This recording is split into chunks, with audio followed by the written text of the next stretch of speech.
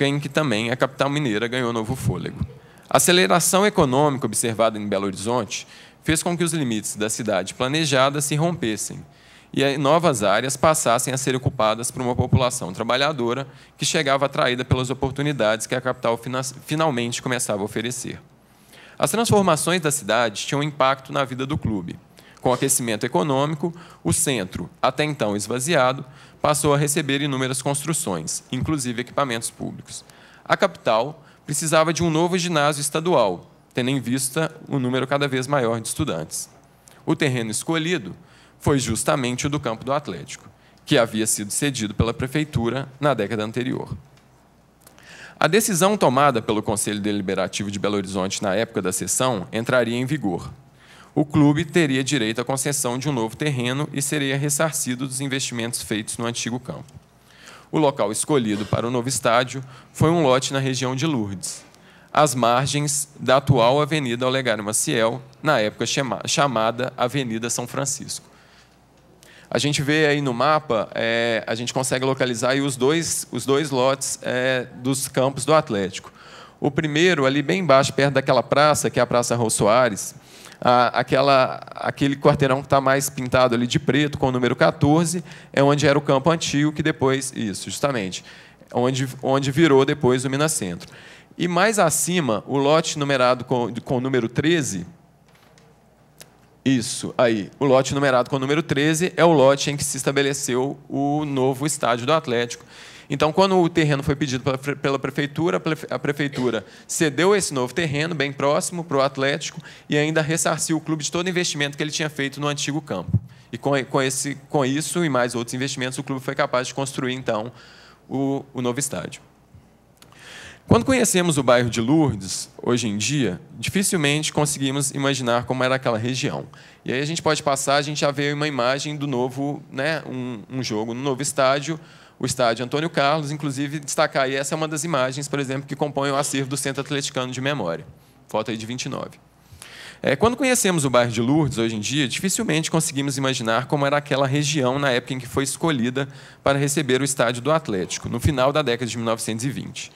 Bairro valorizado da cidade, Lourdes é conhecido por seus antigos casarões e pelos modernos e luxuosos prédios residenciais, além do comércio sofisticado. Contudo, nos anos de 1920, o cenário era bem diferente. Antes, até mesmo por sua posição geográfica, bem mais baixa que a área central, o bairro foi uma das últimas áreas dentro da contorno a serem ocupadas. Da capital em construção, a cidade que crescia e se afirmava em suas duas primeiras décadas de vida, o Clube Atlético Mineiro participou diretamente de, de momentos importantes que marcaram a história inicial de Belo Horizonte. Os costumes, o cotidiano, a situação econômica da cidade e o desenvolvimento de seu tecido urbano são aspectos que podem ser melhor compreendidos quando lançamos nosso olhar para a trajetória do clube de futebol, que mais intimamente se envolveu com a população e com a vida da capital de Minas. Essa estreita relação entre o Atlético e a cidade não se restringe apenas aos momentos iniciais. Ela percorre toda a história centenária de BH e do Galo. Para demonstrar isso, gostaria de apresentar apenas mais alguns exemplos dessa complementaridade. Se no final da década de 1920, Belo Horizonte e o Atlético começaram a se firmar e estruturar no cenário regional, foi ao longo da década de 1950 que ambos alcançaram um novo patamar. Por essa época, o Galo já colecionava conquistas, diversos campeonatos mineiros, inclusive alguns bicampeonatos, campeão dos campeões, e abriu os anos 1950 com uma notável excursão internacional que lhe valeu o título de campeão do gelo. Belo Horizonte também não ficava atrás. Agora, reconhecidamente, a maior e mais importante cidade do estado, a capital mineira já contava com indústrias, vigoroso comércio e começava a desenvolver uma infraestrutura de turismo e lazer com destaque para a construção do conjunto arquitetônico da Pampulha.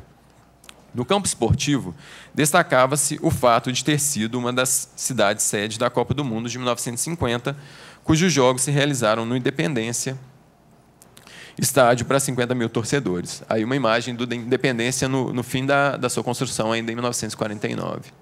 A gente vê ali as arquibancadas, né, o, o Independência foi cavado para baixo. É, toda essa estruturação de Belo Horizonte e o fenômeno da urbanização, que atingia todo o país, significaram uma explosão populacional na cidade. Além do crescimento natural do número de habitantes, garantido pela melhoria das condições de vida, a chegada de pessoas vindas da zona rural, do interior e de outros estados elevava a capital mineira à condição de metrópole. Grande parte dessa população recém-chegada, atraída pela esperança de uma vida melhor, enfrentava diversas dificuldades, a começar pela busca de uma moradia em uma cidade que crescia em ritmo acelerado. Nesse contexto, observou-se uma grande expansão de bairros e especialmente das favelas. A gente está vendo aí, essa é uma imagem aérea da região ali da Serra, a gente vê aquelas ruas cortadas, é, aquele é o bairro da Serra, mas no alto ali, pouquinhas casas que, são, é, que compõem o que é o aglomerado da Serra, e ali ao lado a gente vê uma imagem do, do Parque das Mangabeiras, isso em 1953. Agora eu vou pedir para passar o próximo slide. A gente está vendo a mesma região 14 anos depois, numa vista aérea que a gente vê que o bairro já estava agora totalmente ocupado uh, e, a, e aquelas pequenas casinhas ali que já, já compõem né, as, o que eram as poucas vilas já, form, já formam ali o aglomerado da Serra. E esse é um fenômeno que a gente viu na cidade é, em vários outros lugares ao longo dos anos 50 e 60. Né, uma, um grande crescimento foi o momento em que as favelas explodiram na, na cidade. É, a cidade crescia e se tornava mais complexa. Esses novos grupos que chegavam procuravam fixar raízes e fazer de Belo Horizonte sua casa. Para isso, elementos de identidade capazes de agregar essas pessoas em torno de algo maior eram fundamentais. O Atlético foi, dentre as agremiações de Belo Horizonte, aquela que melhor se adaptou às transformações porque a cidade passou em seus 50 primeiros anos.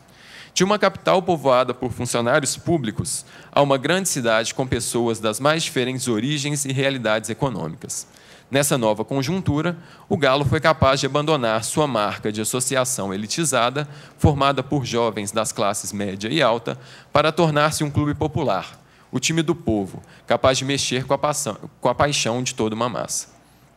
Ao, ainda nos anos 1920, aceitar jogadores das mais variadas origens, tornou-se o time com que as massas populares se identificavam, no qual elas reconheciam ídolos semelhantes. E os jogadores do Atlético já muito chamavam a atenção do público. A gente está vendo aí uma reportagem de 1939 da revista Alterosa que chama Um Domingo com Guará. Né? Todo mundo acho que já ouviu falar do Guará, né? do, do Atlético da, dos anos 30. E a gente vê aí um pouco do dia a dia do Guará colocado na, na revista, mostrando como era um dia do Guará quando ele estava fora dos campos. Então, todo, todos os costumes que ele tinha, os passarinhos que ele gostava de cuidar, o encontro com outros jogadores do Atlético que, um, que o iam visitar em casa. Enfim, os jogadores do Atlético já muito eram ídolos populares, pessoas com, né, com quem os, os, moradores da cidade se identificavam. É, numa, é, é, numa cidade que crescia e que, a cada dia, recebia novos habitantes vindos de fora, um desconforto com o forasteiro, principalmente pobre, era visível. E no campo, esse incômodo e o preconceito ficavam claros. Como a torcida democrática, capaz de acolher todas as classes sociais, as chacotas dirigidas aos atleticanos por seus rivais apontavam para a origem social que predominava na massa. Cachorrada, favelado, eram alguns dos gritos que se ouviam. Nos anos 1960, Belo Horizonte já ultrapassava a marca de um milhão de habitantes uma cidade dinâmica em meio a um contexto político nacional efervescente. Num período de intensa movimentação social, os espaços públicos eram transformados em lugar de manifestação. A Praça 7, em especial, configurava-se como espaço de participação popular. A gente vê aí uma imagem da Praça 7, na década de 60, em momento de campanha eleitoral, enfim, toda a movimentação política, toda a movimentação popular é, no espaço da praça. Com o golpe militar de 1964, as manifestações populares deram lugar aos desfiles militares. A praça já não era tão do povo assim, como a gente vê aí numa das imagens de desfile militar na década de 1960. Apesar da forte presença dos aparatos de Estado, em alguns momentos a praça voltava a ser tomada e a população sentia-se livre para expressar sua paixão. Ninguém mais do que a torcida atleticana foi capaz de subverter a lógica da praça interditada ao público. Seja por uma vitória, seja por um título nacional, a Praça 7, por diversas vezes, ao longo dos anos de chumbo, se vestiu de preto e branco e escutou o grito de galo. Patrimônio da população de Belo Horizonte, o Clube Atlético Mineiro, em sua história centenária, vivenciou intensamente a cidade. A capital mineira e o seu time de futebol mais antigo viram por incontáveis vezes é, suas trajetórias se confundirem, um testemunhando o crescimento do outro. Hoje, Belo Horizonte é uma das principais metrópoles brasileiras, cidade dinâmica, referência no país e no Estado. Ao longo de seus 114 anos de história, conviveu com diversas crises, incorreu em inúmeros erros, desprezou seu passado, apostou equivocadamente em soluções fáceis para problemas estruturais. Mas, apesar de tudo isso, seguiu seu caminho e tornou-se a casa de milhões de pessoas, que escolheram ou foram escolhidas para tê-la como sua cidade. Caminho parecido seguiu o clube que celebramos hoje. Em sua trajetória de vitórias e derrotas, foi capaz de cultivar a paixão de milhões. Muitos deles habitantes de Belo Horizonte, alguns nascidos ali, outros recém-chegados, que enxergaram naquela instituição, no clube que a representa, um motivo para se unir, uma razão de orgulho. Para esses, pertencer ao Clube Atlético Mineiro significa fazer parte de Belo Horizonte ainda mais. É Doutor Lincoln quer falar. Doutor Lincoln, tem um microfone aquele ali? Doutor Lincoln, só um detalhe. A gente pede para o nosso registro que você é, diga o seu nome completo, tá. é, a instituição, de repente, só para ficar gravado aqui nas, nas nossas tá notas taquigráficas. Né? Excelentíssimo senhor deputado Marques, deputado Rogério Correia, vereador Daniel Nepomuceno, vice-presidente do Clube Atlético Mineiro, nosso Vavá, vice-presidente do Centro Atleticano de Memória e atleta, né, campeão do gelo, o historiador Rafael, o meu nome é Lincoln Pinheiro Costa, sou juiz federal aqui em Belo Horizonte e estou muito feliz de estar aqui na Casa do Povo, nessa homenagem ao time do povo. E, de certa forma, essas, como disse o deputado na, Rogério Corrêa no início, isso foi uma, uma demanda que eu coloquei, porque no ano passado, quando o Galo vivia aquela crise dentro de campo, eu escrevi uma crônica no site Galo é Meu Amor, com o título de Quem é a Culpa, e eu cobrava ali uma maior presença da intelectualidade atleticana, né, historiadores, sociólogos, é, psicólogos, filósofos, para discutir o que, que é o Atlético, o que, que ele representa para o povo, né, para todos nós, né, que não, não preciso dizer aqui que todo mundo aqui é igual, todo mundo sente igual. Uma derrota do Galo que afeta o humor, o relacionamento, a, o apetite, né? a produtividade no trabalho, tudo isso é afetado quando o Galo vai mal. E o Galo ia muito mal ano passado, apesar de ter. E ninguém sabia explicar, né? O presidente não sabia explicar, os treinadores não sabiam explicar, os jogadores não sabiam explicar, grandes jogadores, grande comissão técnica, centro de treinamento, melhor torcida e nada de resultado. Então, eu escrevi essa crônica chamando isso, né? Queria ouvir uma, uma explicação para isso. Muitos tentaram isso. Muitos já tentaram explicar isso. O nosso saudoso Roberto Drummond, é, autor de memoráveis textos sobre o Atlético, né? Outros anônimos também, né? Que tem belos escritos. Mas eu acho que faltava mais. Eu acho que esse assunto ainda precisa ser mais é, aprofundado, né? Para mostrar qual é essa relação o que que isso realmente representa para o nosso povo, o que que esse time representa para o nosso povo. Eu e eu penso que nós agora nesse momento ainda precisamos mais ainda é, discutir isso. Talvez seja até um, politicamente incorreto é, tratar desse assunto hoje aqui num, num dia de comemoração, num dia de alegria, mas nós não podemos também esconder o sol com a peneira. Né? Os lamentáveis acontecimentos do 4 de dezembro, último, né? muitos suspeitos, o, o, que ocorreu naquele dia, é, tem afastado o torcedor. Né? Eu acompanho o Galo desde o ano de 1976 e nunca vi o que está acontecendo agora. Nós estamos com nove vitórias seguidas no ano e cadê a torcida? Né? Procuram dar desculpas, ah, porque o jogo é em Sete Lagoas, é porque o campeonato é muito ruim, mas é isso mesmo. Precisamos ah, ver o que está acontecendo. Né? E talvez não haja nem, ninguém melhor do que o, o, blog do Camisa 12, aqui do, representado, do Fael, representado pelo Fael, para trazer esse sentimento do torcedor. Quem frequenta, quem vê o blog o Camisa 12, vê lá as entrevistas dos torcedores, sabe por que está acontecendo, sabe por que, que, o torcedor não está indo. Né? E nós estamos a, é, em vistas de, de, novos lançamentos, como o lançamento sócio-torcedor, né?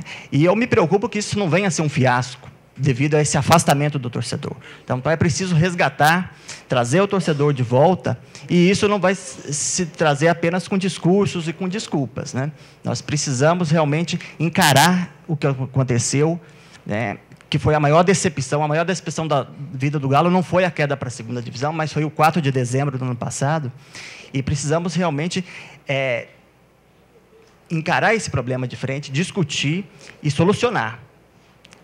Agradeço novamente a todos pela oportunidade e espero que o ano que vem tenhamos aqui com mais motivos para comemorar né, e com uma discussão mais aprofundada ainda. E que a academia, aqui representada pelo Rafael, continue estudando e, e a, entendendo esse fenômeno, né, porque isso é de interesse de todos. Muito obrigado.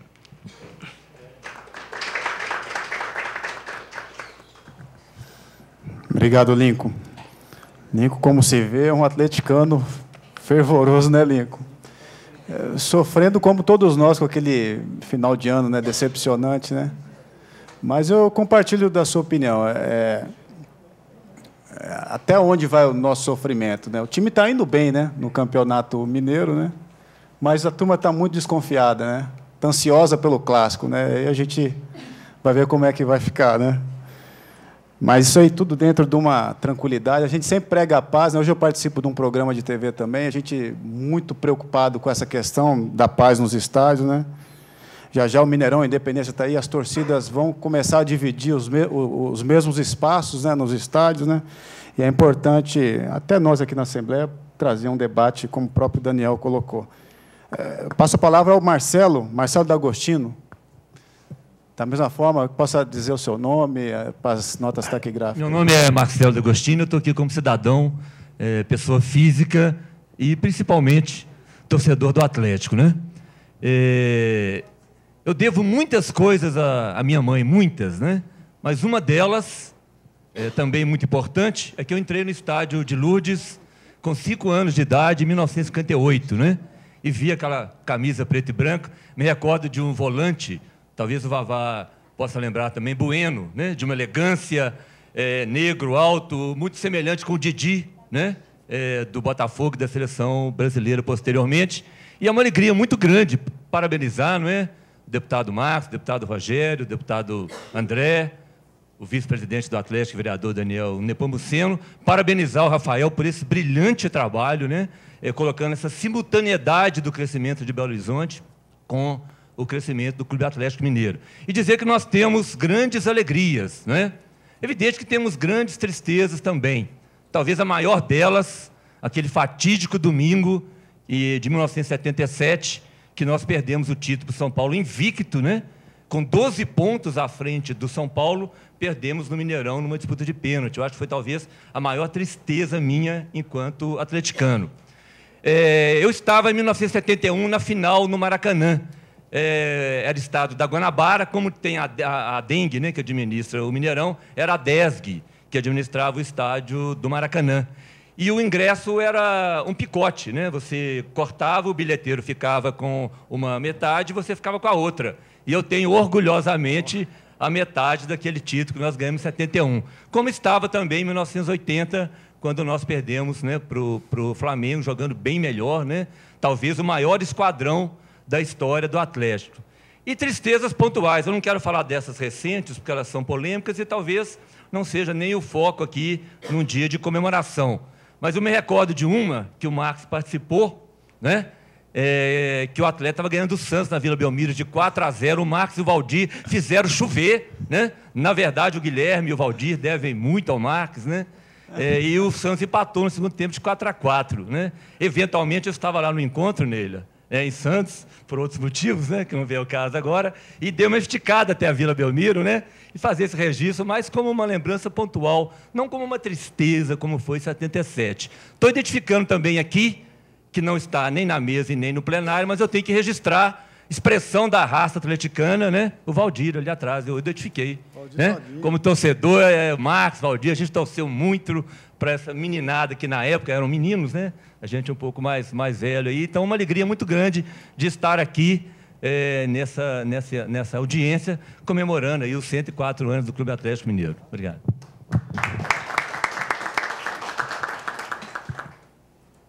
Boa, Marcelo. É, nossa, é, boa memória. É uma frase da Elis Regina, eu carrego comigo, carreguei comigo durante a minha carreira, nem sempre ganhando, nem sempre perdendo, mas aprendendo a jogar. Né? Aqui no Atlético, é, a trajetória se confunde muito com esse trecho da música. Né? É, sei, lembrando um caso de 2000, 2001, a gente jogou um, uma final contra o América. Isso ficou muito marcado para mim, André. A gente perdeu o primeiro jogo para o América, de 4 a 1, Campeonato Mineiro. E no segundo jogo, os jogadores se uniram, aquela mística atleticana, de vontade, de raça. Conseguimos é, emplacar 3 a 0. Né? Se faz mais um gol, era campeão direto. Aí no finalzinho, esse Alessandro que joga até hoje, fez gol do América. Foi a primeira vez que eu vi uma torcida é, perdendo um título em casa, aplaudindo o seu time de pé. É, eu joguei no Corinthians, joguei no Flamengo, joguei no Vasco, joguei no São Paulo. Essa é uma, uma data histórica e marcante para quem estava no Mineirão aquele dia, para mim que estava dentro do campo, né, a gente se esforçando para ganhar. E muitas vezes, mesmo no esforço, a vitória não vem. Né? Daí o trecho da música, nem sempre ganhando, nem sempre perdendo. Eu passo a palavra agora para a Leila, vai participar também com a gente.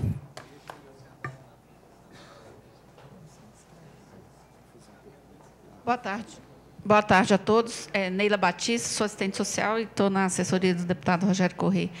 Mas para dizer é, da insistência do Lincoln é, com esse debate e da alegria de ouvir aqui todos os que falaram, mas especialmente o Rafael Rajão, que eu já queria agradecer, a gente conversou. Na verdade, a gente fez um esforço para tentar que alguns outros professores que trabalham com diferentes é, enfoques dessa questão é, das torcidas e dessa questão do futebol e do Atlético em particular, por razões de trabalho nas universidades, aula fora daqui. Alguns deles não puderam estar, e o Rafael veio nos dar essa belíssima contribuição, que eu acho que é fundamental. É, é, o fato dessa história do Atlético e da cidade ser tão é, conjunta, tão imbricada, eu acho que explica muito é, de que várias pessoas, inclusive, não conseguem entender essa relação de paixão né, de nós todos atleticanos com o clube e, e, com a cidade. Né, e essa intensidade com que a gente vive as coisas. Eu também, Marcelo, foi a minha primeira grande tristeza o campeonato de 77. É, a gente adolescente, essas coisas marcam mais, né? Mas eu acho que, sobretudo, tem algumas questões colocadas no futebol, de um modo geral, e no brasileiro em particular, por, pela grandeza que o futebol ocupa na nossa vida, que é o fato de que é, quem faz com que o futebol seja o que é, que são as torcidas, é o povo que torce, que acompanha, que luta com os times, que briga, que sofre, essas coisas todas, ter tão pouco acesso ter tão pouco envolvimento efetivo com os seus clubes. Né? Isso que o Lincoln diz hoje, né? nós estamos aí invictos a nove partidas e uma distância. Tem razão de ser. Primeiro que é um povo que da massa atleticana, grande maioria é um povo trabalhador e pobre e dispor de 50 reais, que é o mínimo que se gasta para ir daqui a Sete Lagoas, não é qualquer coisa. Né? É, é, não é possível ir. E eu acho que um outro, um outro fato que se explica é um pouco essa coisa da mística mesmo atleticana, né? que é na hora dizem que mineiro só é solidário no câncer. Eu acho que no caso dos mineiros atleticanos tem uma diferença, né? É na hora que o time teve sempre muito mal, sempre com muitas dificuldades, que a presença e a expressão da torcida sempre se fez de maneira muito decisiva e muito forte.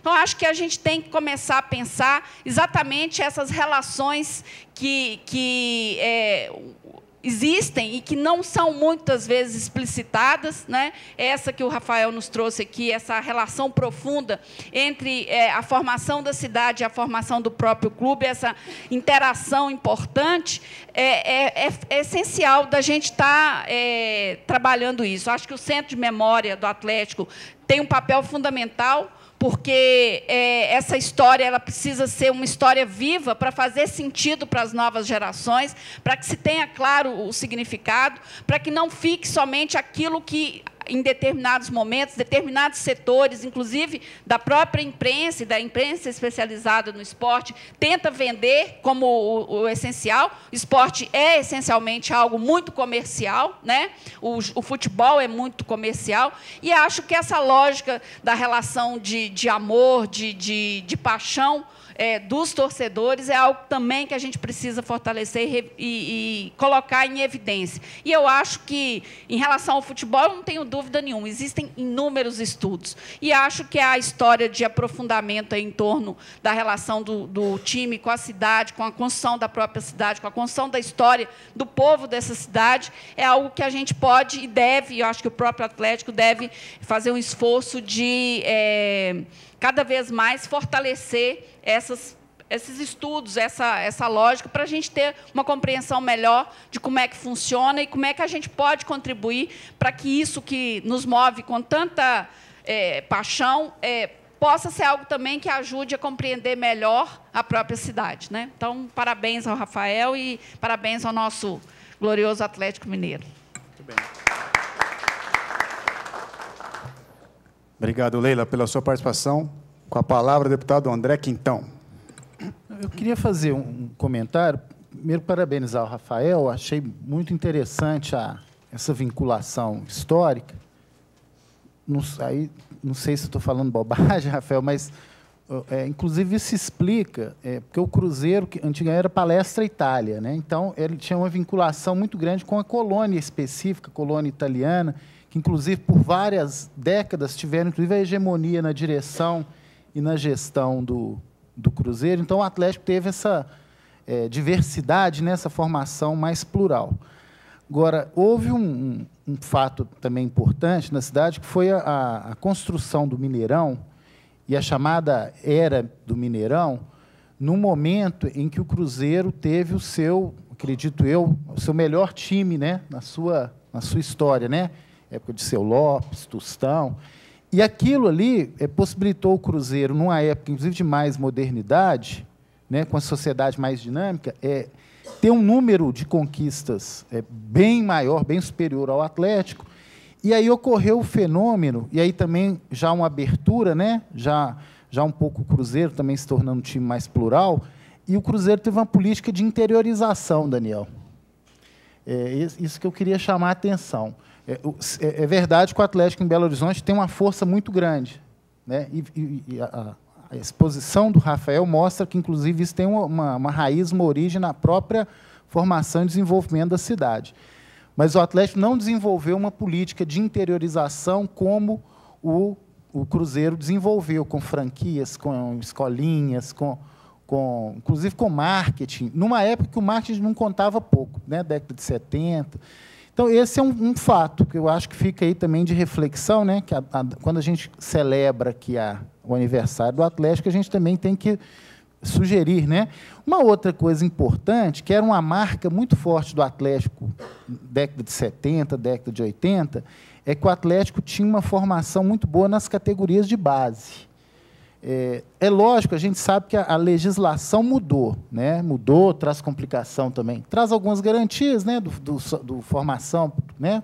clube formador, tem uma compensação, mas a gente sabe também hoje o peso né? do, do empresário nessa relação com os atletas, inclusive com as famílias dos atletas. Mas eu chamaria atenção porque o, na década de 70, o, o, o time de ouro né? que o Atlético teve, uma boa parte veio, veio da base, né? O deputado, hoje deputado na época, João Leite, Alves, Cerezo, o Marcelo, Paulo Isidoro e o grande Reinaldo, que foi o maior, né? maior centroavante. É, o Éder foi formado no América, né? Aí depois voltou, veio para o Atlético numa troca pelo Marcelo, quando o Éder estava no Grêmio, ou no Botafogo, se não me engano. Então, assim, o, eu, eu chamaria a atenção desses dois aspectos: a questão da interiorização e desse reforço para as categorias de base. Porque o Atlético também, o torcedor, Marques, tem uma característica, por isso que a, a, o dirigente do Atlético, Daniel, gostei quando ele falou isso, carrega uma responsabilidade muito grande. Né? Porque o, o, o torcedor do Atlético tem um perfil. É, por exemplo, e as redes sociais